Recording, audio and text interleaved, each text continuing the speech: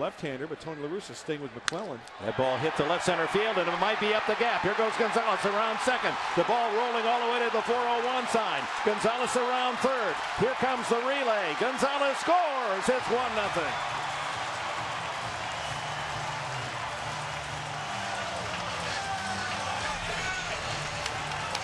Veteran Matt Stairs, pinch hitter deluxe. That's why they signed him off the bench to drive a ball to the gap in left center and score Gonzalez for the first run of the game. Well, we know that Tony La Russa likes to make moves to the bullpen with matchups. McClellan throws a fastball up and away. Stairs takes it the opposite way, totally beating the defense. Adrian is on his horse. And that's the one run that the Padres might need tonight.